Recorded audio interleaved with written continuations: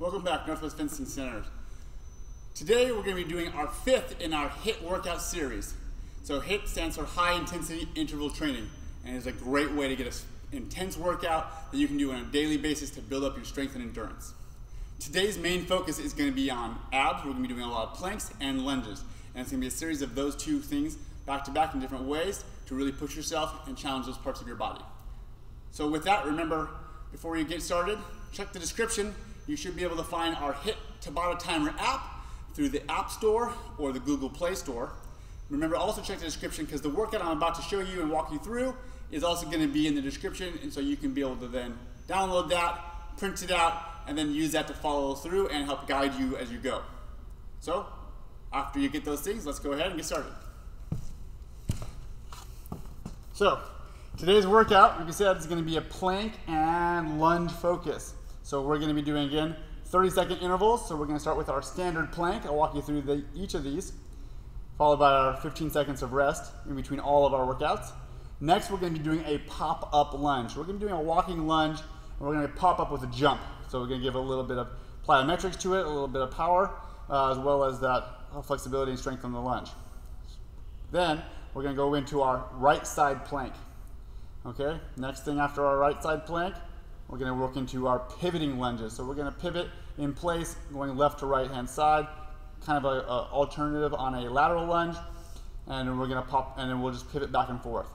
Then we'll follow it up with a left side plank, then we're going to go into a reverse pop-up lunge, and then we're going to give ourselves 60 seconds of break before we start over. So we're going to do a lot of different things with our with our with our planking, as well as our lunges. So with that, we're going to go ahead and look at our Tabata Timer app. So we go to our HIIT app, we have everything loaded again. When we focus on our hit, timer, we're going to give ourselves 15 seconds to prepare once we hit the start button. We're going to be doing 30 seconds of work, 15 seconds of rest between, six cycles total, six different exercises, and we're going to go through them four times. We're going to provide ourselves 60 seconds of rest in between. If you need to at this time, grab a water bottle, have a quick drink before you get started. Boom, once you're ready, you'll, get, you'll hit the start button. And remember, if you need to, it, all of this information is going to be on the top of our workout sheet, nice and small, but that way you can pre-program your hit timer with all of that. This is again going to be about a uh, 20 minute workout once you hit that start button. So once you know what you're doing, hit the start button and go, and then every day you can basically clock it in. You know exactly how long this is going to take it for you, so you can squeeze it in when you have a, a free moment. So with that, we take our list, we're going to come back over. So we're going to be working on a lot of different core stuff. So First one we're going to be doing is a standard plank. So we're just going to be working from standard plank position, elbows on the mat, and we're going to really work on heel, hip, and shoulders all in one straight line. And we're going to be able to maintain this position and hold that for 30 seconds. If it hurts your elbows, you can always do it in a push-up plank position on your hands. You can raise the level by doing planks with taps while you're going, or even up downs. So depending on what level of challenge you want, on this one in particular, that's your standard plank. And you're just gonna be holding that for 15 seconds. Next thing we're gonna do, we're gonna stand up because we're gonna be working between our planks and our lunges. So next we're gonna do is our pop-up lunge. With our pop-up lunge, we're gonna do a standard lunge. So I'm gonna be here. I'm gonna keep my hands close to my body, reach out with my lunge, come close to the ground, and then I'm gonna pop up. Pop. Really come back to that center position. I'm gonna step back and step forward. Get close to the ground, come back to that center, and I'm gonna keep alternating my right side, that quick jump back up, and then step out, left side. You from hands on your hips either, too. Alternating. So whenever we talk about those pop-ups, that's what we're talking about. That quick jump, reset to center, step it back out. That's gonna be our first one, which is our standard pop out lunge. Next, we're going back to our mat. We're gonna do the next side, which is just gonna be on the right hand side. So elbow down, I'm gonna have my hand on my hip, and I'm gonna do the same thing. Maintain that straight line for the side plank. I wanna raise the level, I can keep my hand up. So it's a little bit harder for me to balance. When I raise the level again, I can do it with one leg up and hold it from here.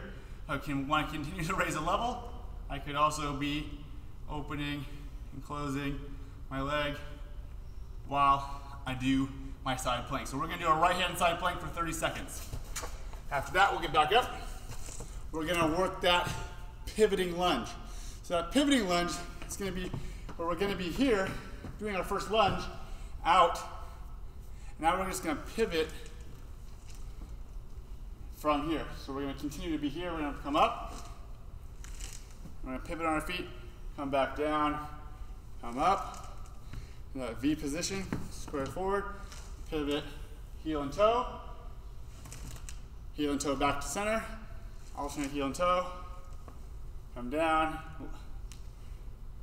heel and toe back to the middle, to the side. So we're going to continue to do these pivot lunges, down, up, down. We just want to get into a nice smooth cadence. Once you get the coordination down, you can really pick up the pace and push yourself to get your pivot lunges moving smoothly. And that's gonna be 30 seconds on your pivot lunge. Next, we're gonna go back down to our plank. Same position, now we're just gonna work the opposite side. So again, now I'm on the left-hand side, hand up, hand on my hip. Whatever I want, main thing, maintain that straight line. 30 seconds now on the opposite side, uh, getting that left side now with my plank. 30 seconds pass, I get my quick break, check my list. All right, next thing I have is that reverse pop-up lunge. So the reverse pop-up lunge is now, instead of stepping forward like we had been, we're gonna be a, lightly, we're gonna step back, get low, come back. And now from here, we'll do the same thing. Small step forward, big step back, and then pop back up. Small step forward, really just like a half step. Really reach back. If you can, you go really, get that low position. Again, core, head, shoulders straight up. Pop back up, small step out. Big step back, pop back up. Half step forward, big step back, and pop up. Really try to be as powerful and explosive on these pop-ups as you can. So we're really working on going low and slow down, and then very explosive as we pop back up.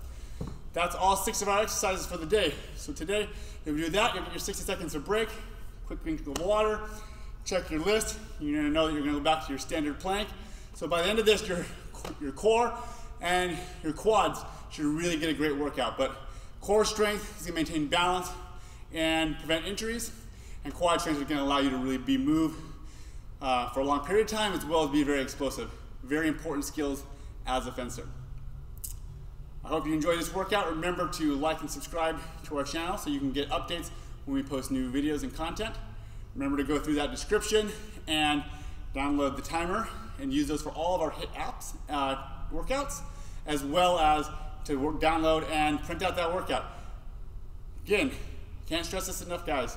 It is so important on these workouts to do them when you can, but to try to do them on a regular basis. We're trying to provide a lot of these good short workouts so there's something you can squeeze in almost any time we're gonna have 20 minutes in our day that we could sneak out, have our timer workout, and be able to go. The Tabata timer is such a great way to push yourself even when you're alone, and each of these intervals is so small, it's really uh, motivating to push yourself to get past that one and keep going. Next thing you know, 20 minutes has passed, you're drifting in sweat, and you feel very good about yourself for having gone the extra mile on your training and on your personal fitness.